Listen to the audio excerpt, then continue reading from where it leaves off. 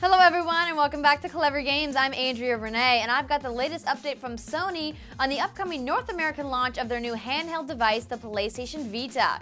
The Vita has already launched in Japan, selling more than 320,000 units.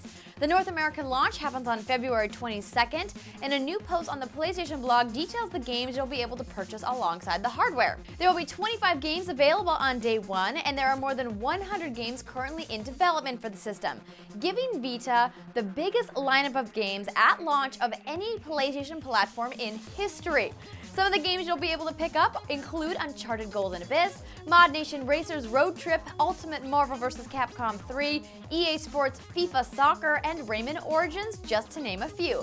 All games will range in price from $9.99 to $49.99 and will be available at retail locations as well as downloadable on the PlayStation Network.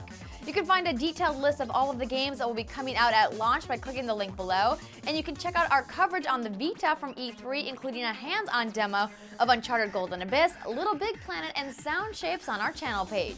Be sure to click subscribe while you're there to get all the latest gaming news. I'm Major Rene, and I'll see you guys later.